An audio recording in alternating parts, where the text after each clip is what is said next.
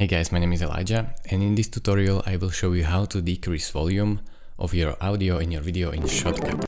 So in Shotcut it is pretty simple. I will play the audio for you so you can hear how loud it is now.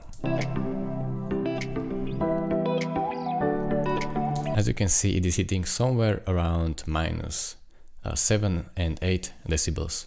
So in order to decrease this audio volume you will click on this clip to select it, go over here to filters or you can click here filters as well. Then go over to plus icon and simply type uh, gain, gain slash volume, so, so click on that. And now adjust the gain with this slider to minus, so as you can see I will say minus 15 decibels. Now when I play it back, you can hear and see that it is hitting really below minus 15 decibels. So this is how easy it is to decrease audio volume in Shotcut.